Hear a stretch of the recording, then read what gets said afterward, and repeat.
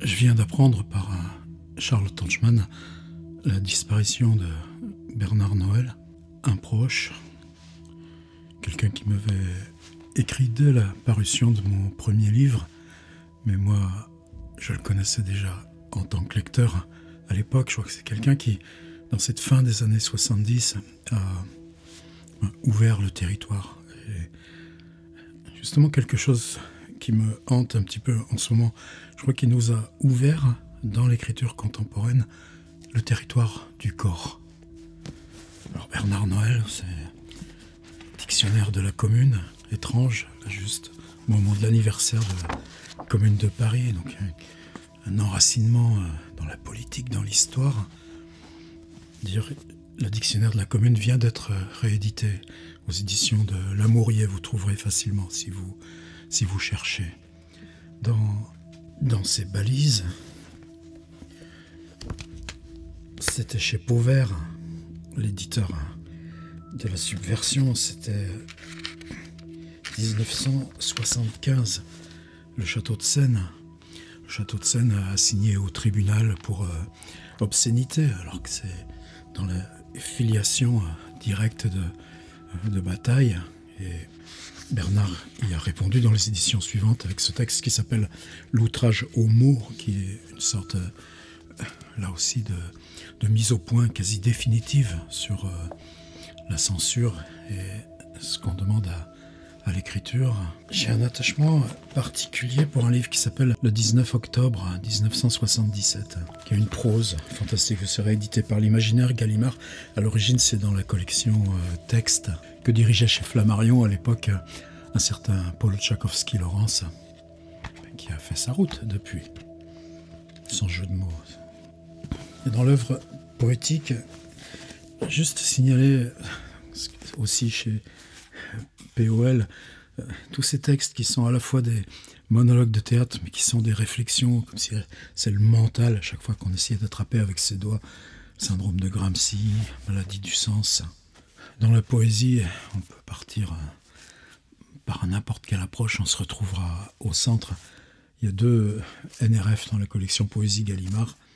Extrait du corps la chute des temps, extrait du corps. C'est déjà un classique. Il y a d'abord des textes euh,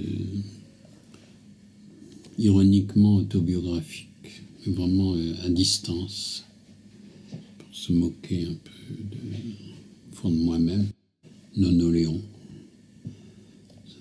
ce Nonoléon est né de ma jalousie avec un jour je suis tombé sur une formule de William Blake qui est Nobo Dedi.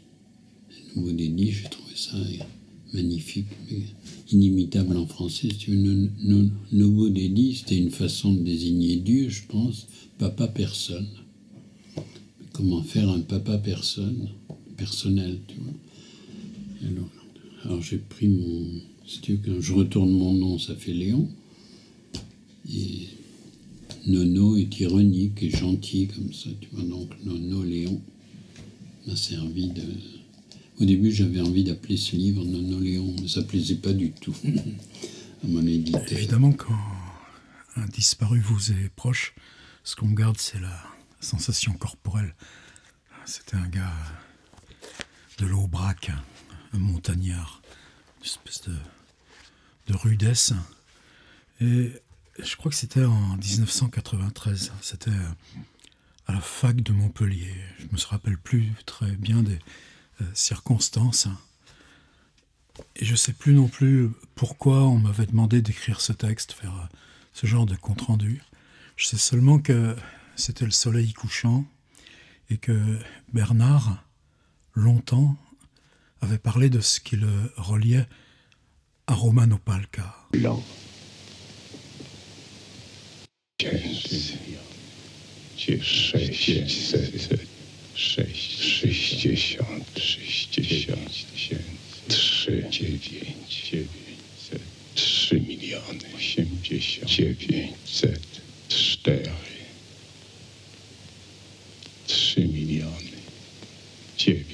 Sur une bande magnétique, j'enregistre ma voix en polonais les noms tracés afin de m'accoutumer à la difficulté qui m'attend lorsque les chiffres seront écrits blanc sur fond blanc.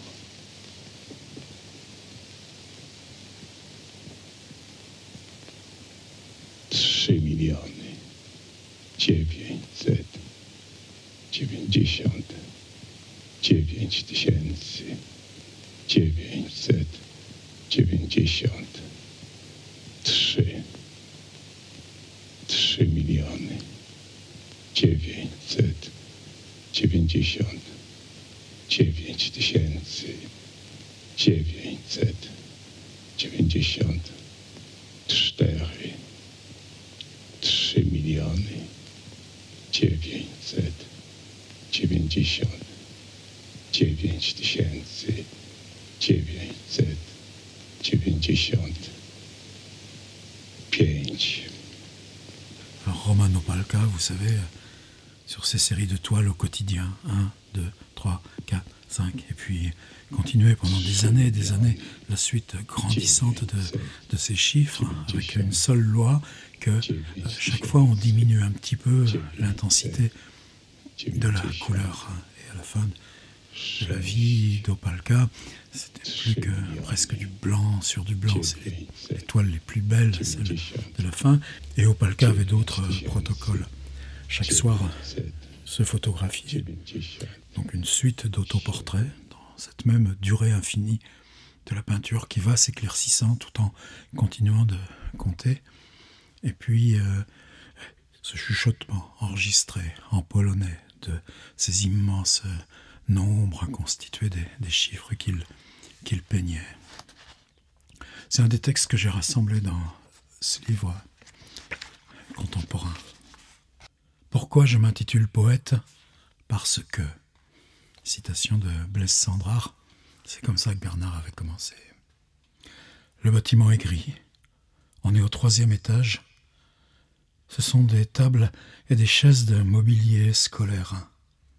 Il a choisi sa place contre la fenêtre, bien en avant du bureau. Assis sur une table, les pieds sur la chaise, complètement de côté, le soleil d'hiver vient presque à sa hauteur, on le voit en contre-champ, et tous, on est bien quarante, on l'a à contre-jour. Dans le soleil, juste le contour du visage et la sculpture des mains. Il y a cet adage qu'au théâtre, si on veut se faire entendre, il faut baisser la voix. Sa voix est devant lui, comme séparée de ce corps et de ce visage avec les mains qui sculptent. Il dit à ce moment-là ne pas savoir, écrire avec ce que l'écriture suscite, et non plus avec la mémoire. Écrire non dans la description, mais depuis les perceptions. Et continue encore plus bas, comme si ce jeu de négation en boucle devait se multiplier en cercles dans l'air avec des coupes de silence. La fiction ne me vient pas. Ce n'est pas un dialogue. Il parle dans le contre-jour et l'explication se passe de nous sur nos chaises d'école. Ce sont des assertions dont chaque boucle successive accumule, au regard des possibles, une violence opaque et sans passage qui la contourne ou la mine. Il dit élucider ce qui m'inquiète. Il se passe de nous, parce que c'est de cette violence-là, à lui faite, qu'il s'explique. Une silhouette de loin émaciée, mais qui surprend de près par quelque chose de rablé et musculeux. Ce n'est pas pour rien qu'on est en Aubrac et son granit que cette lenteur qui, qui l'affecte est donc maîtrise rentrée de mouvement. Bientôt, il dira, de l'écriture même, comme Matisse, construire un tableau ou un dessin à la pointe d'un geste. On comprend les muscles sous le pull. Tout à l'heure, quand on l'a accueilli, en regard du jeu maintenant des mains qui sculptent dans les silences.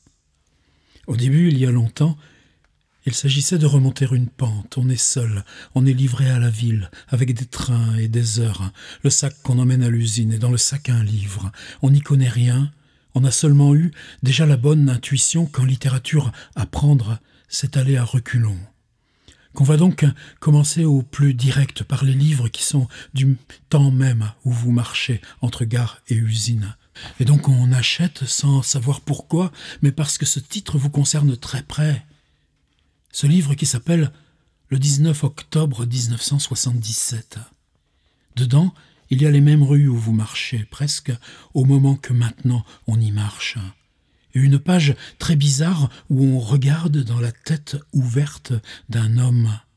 On a déjà repéré dans la ville les boutiques où les livres ne sont pas de tout venant, et on sait dans quelles étagères sont ceux qui vous importent. Le deuxième choc est là pourtant, dans un titre apparemment neutre, Deux lectures de Maurice Blanchot. Blanchot. La littérature comme sape portée dans l'intérieur du mental et la générosité dure du vieux maître de vous mener jusqu'au dedans même de la mécanique d'autres livres, nous porter devant les mots. J'ai perdu en route le livre acheté il y a quinze ans. Ce dont je me souviens, c'est de cela. Dans un train, le narrateur lit L'arrêt de mort de Blanchot et dans la folie même de la lecture, ouvre la porte du wagon. Tout va très vite. Le sol est sur la rétine. Il va se jeter. Même comprendre un livre, ne passe pas par la tête. Une interférence plutôt de la lecture et du réel, dont il faudrait se sortir pour tenir ensemble les deux termes, le livre, le monde, et que c'est le corps, la peau et le voir qui sont alors, dans un instant figés et séparés de tout, l'entier théâtre du dire. Non pas écriture, mais parole de ce qui la soumet au corps et à la peau, que tenir dans la parole est forcément expérience physique, acceptation de la blessure et d'où on a mal. On a reconnaissance à ces pages quand elles viennent au moment précis qu'on en a besoin et qu'elles vous permettent la passe. Il est contre la vitre, de profil. Il y a une heure qu'il parle. La voix ne s'est pas élevée. Le soleil a baissé et tourné, le profil est seulement une ombre découpée. Il parle des peintres. Il dit qu'il est assis dans l'atelier d'Opalka, comme si c'était là quelque chose d'habituel et d'ordinaire, de Romano Palca, je connais la voix enregistrée diffusant près des toiles la suite infinie des nombres dans ce chuintement rocailleux du polonais oral, et je connais les yeux photographiés qu'il met aussi en vis-à-vis -vis de ces toiles comme une ponctuation du temps dont elles sont la notation continue et l'écriture que sont ces toiles, avec l'effacement régulier progressif des grilles avant qu'on regresse le pinceau, et le fourmillement de signes qu'elles induisent si on s'en éloigne à deux mètres. Il parle du temps, de son attente dans l'atelier, du temps du peintre et de son temps à lui dans le silence. Il cite à nouveau Matisse. Quand je peins, je vois dans mon dos. Voir dos avant de revenir à l'atelier d'Opalka et dire des pierres d'air, comme de vraies pierres d'air. C'est la parole donc. Avec les quarante qui écoutent et le visage à contre-jour, comme pour plus encore se séparer de la voix qui atteint à une autre surface où les mots ont existence plus solide et autonome. Il dit qu'il est dans l'atelier d'Opalka, assis par terre, qu'il y a le bruit perceptible de la couleur raclée sur la toile, et que ce bruit seul depuis plusieurs heures commande au temps, et nous, on se grandit à une autre écoute. Ici, dans l'atelier de parole, le temps aussi commande aux morts, avec cette même obsession longue des signes, et comme le même épuisement récurrent du pinceau de gris à blanc. Il revient à écrire. Et c'est encore cette voix détachée de profil en noir et des mains qui sculptent. Il vient de dire écriture qui véhicule dans sa trajectoire des fragments du monde reconnaissable. Dans cette lenteur encore, et c'est d'autant de violence appliqué à l'effort même de parler, capable alors de coller comme on se plaque corps contre corps à cette violence qu'est le monde muet qu'il s'agit qu'on transporte. On sait que c'est là que de lui on a pris le son, qu'il y a sous le pull les muscles de l'aubrac. Il dit maintenant quelque chose comme une contagion, un déplacement de matière. Qu'on ne reste donc pas intact dans l'échange, et qu'il ne s'agit pas du sujet posant plume sur une feuille, mais bien cette relation au dehors. Il dit le réel, c'est la relation. Et que de ça aussi, on n'en finit pas de prendre le son. Sur la chaise, il a posé ses chaussures. Il y a des gens qui, lorsqu'ils voyagent, vous envoient des cartes postales. Lui, quand on a des nouvelles, c'est qu'il y a trop longtemps qu'il est sur place.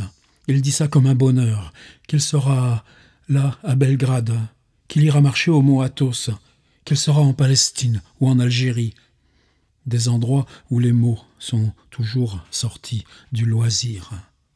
Avec le même sourire un peu triste, parlant de ses prochains voyages, d'y être appelé plutôt que les choisir.